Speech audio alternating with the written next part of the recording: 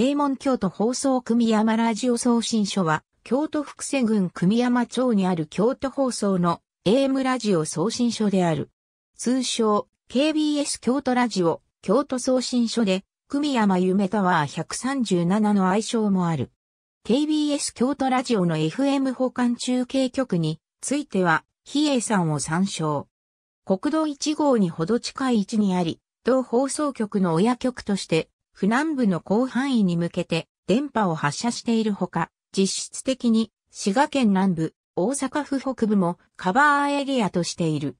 高さは137メートルあり、日本の AM ラジオ送信所としては数少ない単独自立型タワーである。敷地は体験農園、KBS ファームとしても利用されている。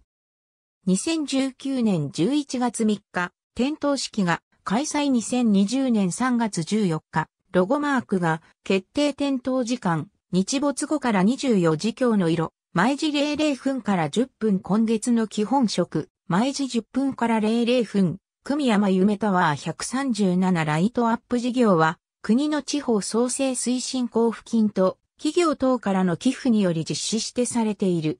LED ライトは京都タワーと同じくパナソニックのものを使用。ありがとうございます。